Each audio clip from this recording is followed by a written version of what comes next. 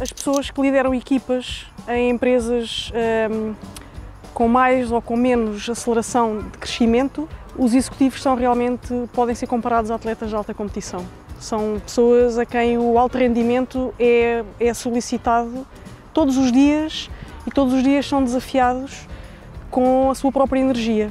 Como gestor, tal como atleta de alto rendimento, deveria ter em consideração que é cuidar do seu bem-estar, ter em consideração a sua saúde, dimensão mais clínica, mas a dimensão também física, a dimensão de nutrição, psicológica e emocional, que eu acho que determina e muito o sucesso, o bom rendimento como um líder e também o rendimento da sua equipa. A experiência em Celso Futebol acho que foi fantástica. É de salutar aqui o, a parceria entre a Nova e a Federação Portuguesa de Futebol uh, e o acesso à cidade de futebol, porque é claramente fantástico poder estar aqui, passar aqui uh, um dia e meio, uh, usufruir das instalações, poder visitar a cidade dos atletas, não é? ter aqui uma experiência quase real de jogador, não é? Entre os testes da avaliação física, o poder agora estar a fazer aqui um jogo de walking football, portanto, muito, muito interessante. Eu acho que é, que é muito, muito engraçado aqui nesta esta complementaridade no curso.